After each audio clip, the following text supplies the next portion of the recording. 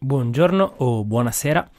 Eh, questo piccolo video per raccontare un libro che mi è arrivato a casa che ho amato particolarmente, un libro finalmente non più soltanto scritto come gli altri di cui ho parlato, ma un libro che è, una, è un fumetto, una, una, una graphic novel che si chiama Noi Selkman ed è la storia di, del popolo nativo eh, che viveva eh, nel sud del continente americano, soprattutto nella parte della Patagonia, del Cile,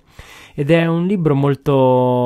molto interessante, molto intenso, disegnato eh, e scritto da Carlos Reyes e Rodrigo Elgueta entrambe vivono in Cile, a Santiago, avevano già pubblicato anche in Italia, ma in realtà in tutto il mondo un altro testo, un'altra graphic novel, un altro fumetto che parlava della storia di Allende. Eh, questo io l'ho trovato ancora più intenso, ancora più importante perché senza nulla togliere all'importanza della storia di Allende, di quello che eh, è successo in Cile, della feroce dittatura di Pinochet, eh, diciamo che quantomeno in Italia è molto più conosciuta come storia, mentre la maggior parte di noi eh, non sanno praticamente nulla di uno dei genocidi della storia, una delle distruzioni che ha portato il colonialismo in terra americana, che è la storia di questa popolazione incredibile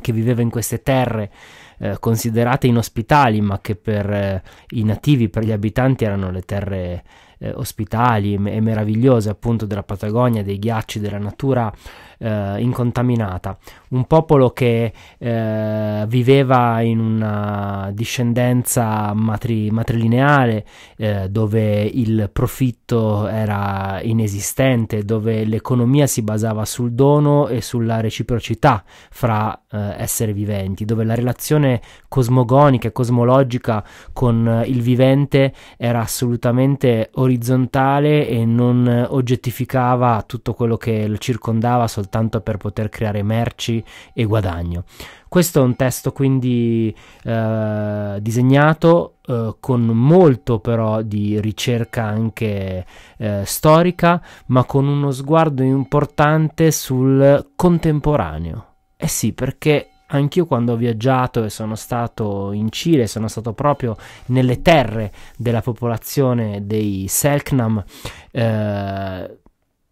li davo per scomparsi, eh, per eh, estinti. Eh, in realtà questo libro ci parla di un popolo che vive ancora vive ancora e, e, ed è veramente affascinante e non voglio svelarvi eh, esattamente quello che viene raccontato in questo testo, ma